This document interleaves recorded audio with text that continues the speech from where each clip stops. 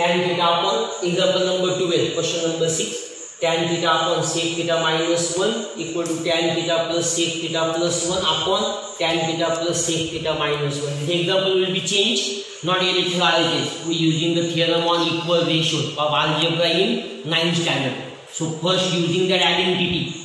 1 plus tan square theta equal to sec square theta. So plus 1 transfer there tan square theta equal to sec square theta minus 1 number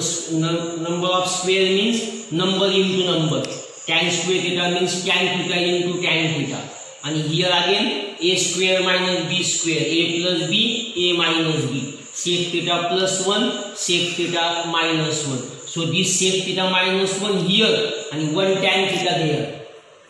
tan theta upon sec theta minus 1 equal to sec theta plus 1 upon tan theta you have equal theorem on equal ratio in ninth standard if a upon b equal to c upon d then each ratio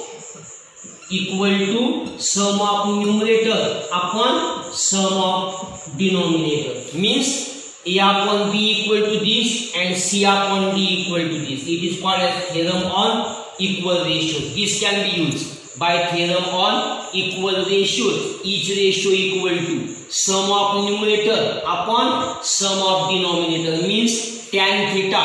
plus sec theta plus 1 upon sec theta minus 1 plus tan theta. Each ratio means this equal to this and this equal to this. But we have to